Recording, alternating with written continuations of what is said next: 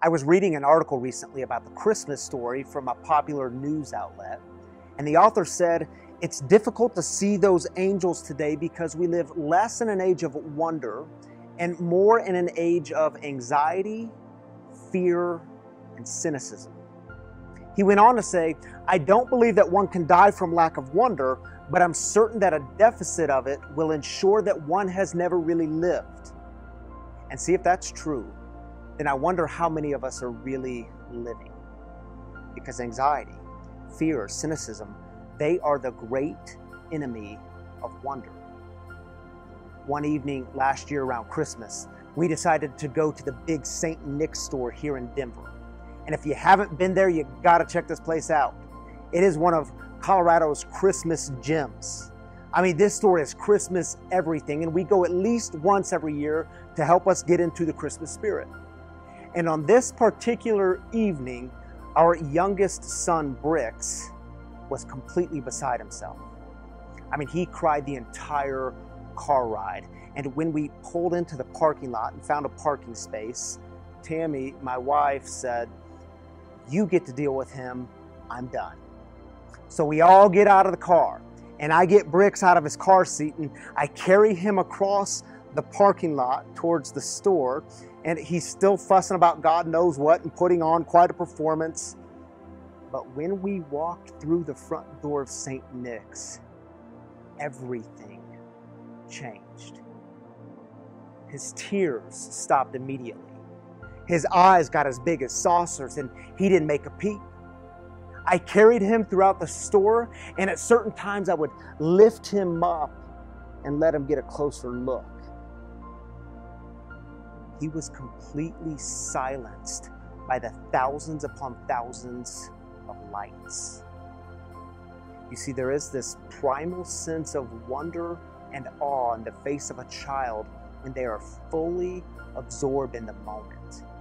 And at the same time, they're completely caught up in the anticipation of just what kinds of experiences are right around the corner. And I think it is the purest form of joy.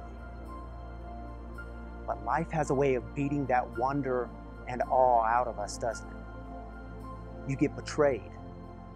You lose someone or something. Things didn't go the way you thought they would go, especially this year. So you pull back and you give yourself to fear and anxiety, and your heart gets a bit hardened.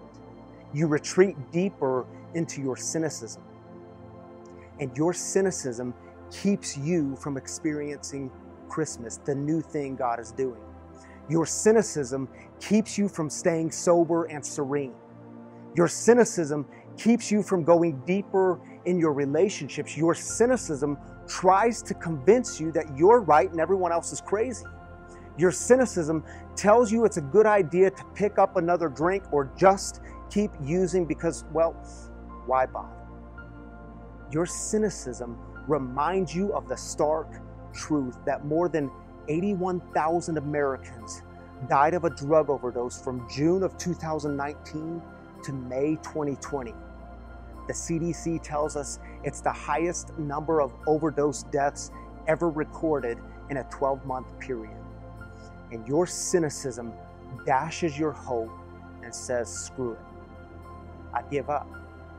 He or she is just going to become another statistic anyway. Your cynicism keeps you from seeing the angels, from hearing their message of good news.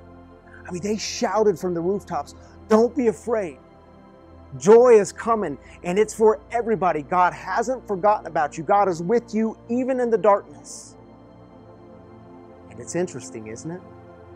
In the Christmas story from Luke's Gospel, the shepherds were guarding their sheep at night in a very tumultuous time in history, living within the first century Roman Empire, and this was the most powerful empire the world has ever known. And they were only shepherds. They knew a thing or two about dashed hopes and darkness. And they never really knew what was going to happen next. And then the Lord's angel stood before them. The Lord's glory shone around them, and they were terrified. Good news is announced, and they're terrified.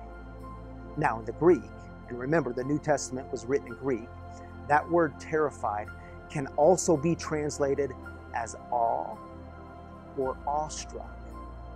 So the story could read, and they were filled with awe, or they were awestruck. Makes you wonder, doesn't it? In that moment, when things were a bit dicey, were they overtaken by fear and anxiety and cynicism? Or were they overcome with awe and wonder? You see, Jesus invites us to experience the new thing God is doing in the world. And he says to do this, we must become like a child.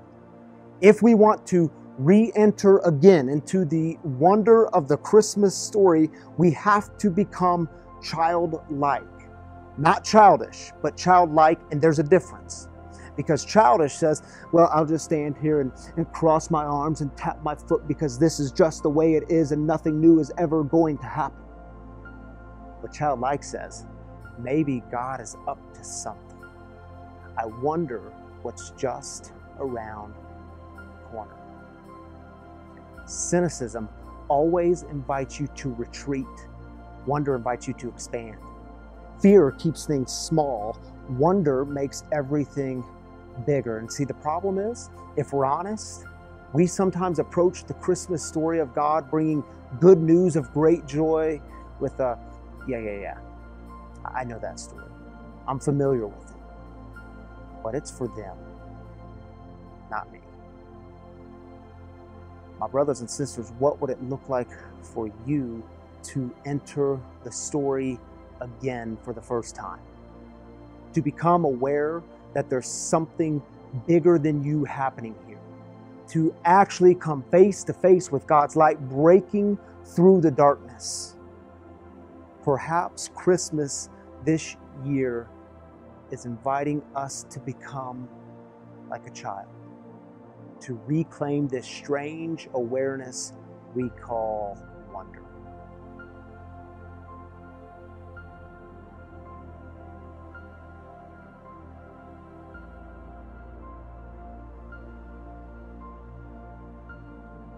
Hey everyone, I'm so glad you've been with us and part of this community this year in 2020. And I hope you have a very Merry Christmas that is filled with hope and peace and joy and love.